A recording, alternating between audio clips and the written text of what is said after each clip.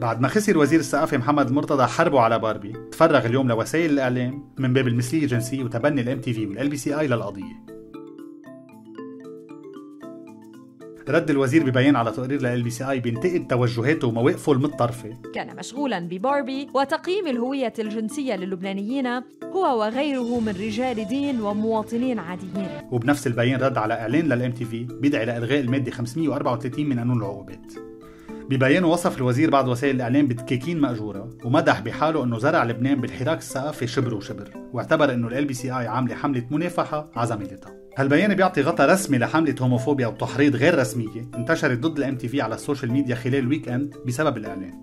الشذوذ والشاذين واللواط والمساحقة من الأول وضحت ال MTV إنه موقفها بينطلق من مواقف البابا فرانسيس اللي ما بيعتبر المثلية جريمه وبس دافعت عن موقفها اعتبرت إنه بينطلق من مبدأ حماية حقوق الإنسان والحريات بس ومش من باب الترويج للمثلية لا بل انتقدت بالتقرير نفسه العبور الجنسي. وليس من باب التشجيع على المثلية. مثل عادته تدخل وزير الثنائي لتوجيه نظام الكراهية وحمايته وهالمرة من خلال ترهيب وسائل الاعلام مباشرة والتحريض عليها.